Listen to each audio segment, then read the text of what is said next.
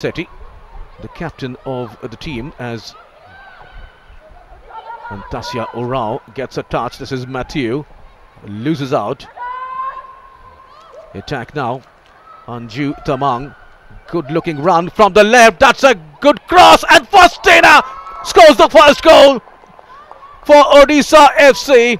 Faustina Akpo scores early on, and a terrible defending there from the Celtic Queens defender. Almost a gifted goal for Orissa FC, but Faustina won't mind that. Look at that. That was Anju Tamang with that cross, and that was uh, a terrible touch from Mercy.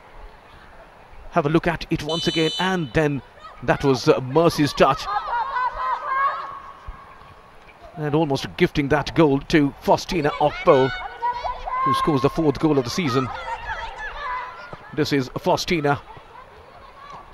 Faustina Okpo is the scorer of the first goal, the player from Ghana who represented the under-20 Ghana national team as well.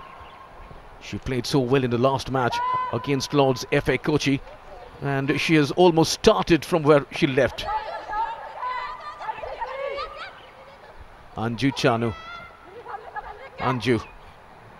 The other Anju. And this is Julie. Julie finds Sushmita. So this is the score. The goal was uh, scored in the very third minute of the match.